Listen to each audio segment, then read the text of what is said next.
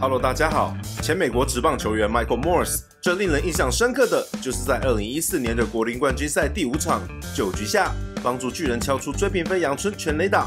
他们在靠着石川龙敲出再见三分炮，击败红雀挺进世界大赛。最后巨人击败皇家，夺得2010年来第三次的世界大赛冠军。但是大家可能不知道，Morse 2012年球季还待在国民的时候，曾在一场比赛中。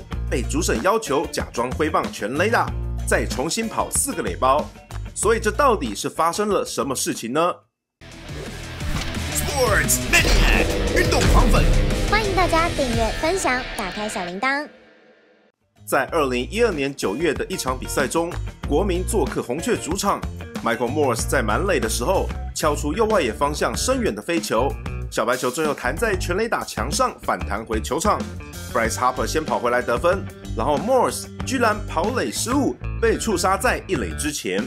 当然，这球主审后来决定要看重播确定一下。这球很明显的是打在全垒打墙上，再从广告看板反弹回球场。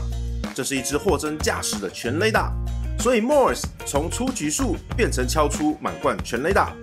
主审这时候要求所有跑者与打者要重新跑垒。打击的 mors 回到了一垒之后，还等了一下，似乎不确定主审到底要他做什么。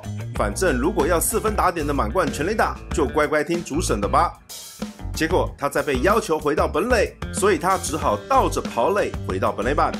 他摆出挥棒敲出全垒打的动作，然后再重新跑垒，这也让现场的转播员啼笑皆非。